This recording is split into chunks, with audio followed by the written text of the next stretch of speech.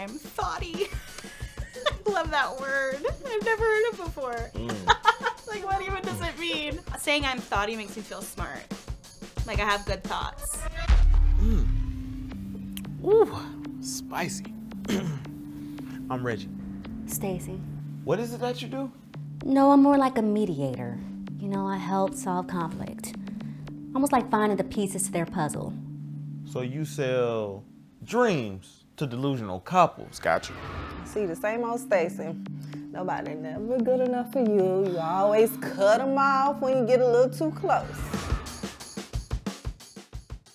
How about you stay out of my business and cut some hair? Wouldn't be in your business if you wasn't talking so loud. So what you're saying is that you can never treat two people the same way?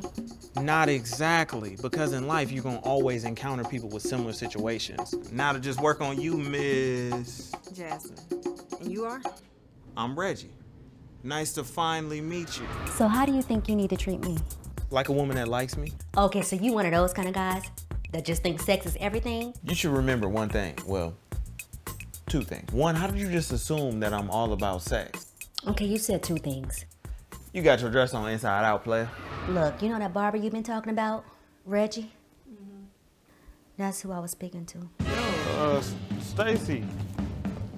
Jasmine, right? Just because you went to school and studied all these hours, that that means you better at this than me? Yeah, exactly. There's no better teacher than life and its experiences. You can never try to do what I do, so don't even try to. Paul likes all black things. I make my stovetop stuffing. He wants dressing. I make shake and bake, but he wants real fried chicken. But what is missing is the fact that you don't cook, clean, or listen. I listen. When do you listen? This morning. And that's the only time you do listen is when somebody's trying to bend you over. Ma'am, did you bring your son in here today? I Knew I should have left him in the car. We we closed from here all the way to here, okay? This part right here is closed. So what are we here for? Because you, look at you, you don't even get up. You're not even being a gentleman. Levántate, pendejo. Oh. How you gonna let me sit down? Listen to the therapist, baby. That's what we came here for. Yeah, and you don't like to clean, and you don't give good sex. He thinks that sex once a week is okay. He thinks that's healthy. I'm like, all day, every day, bro. And I feel like he's gonna leave me for one of these little thots. Oh, cut the malarkey.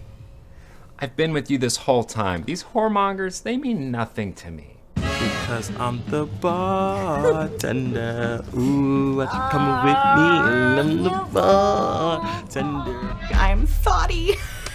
I love that word.